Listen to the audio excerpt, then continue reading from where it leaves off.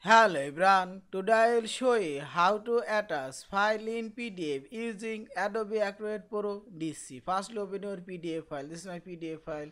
I have already opened. And click this tools option, here we will find this edit PDF option, click here edit PDF and click this more option.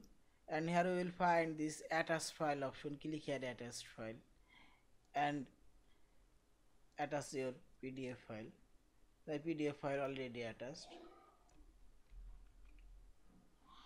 and click file option save as your PDF file.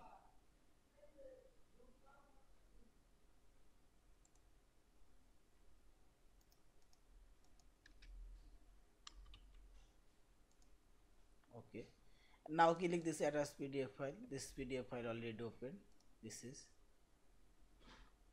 and again click this attached file this is now click now click this attached file icon and click here. This pdf file already opened. Thank you for watching. Please subscribe like share and comments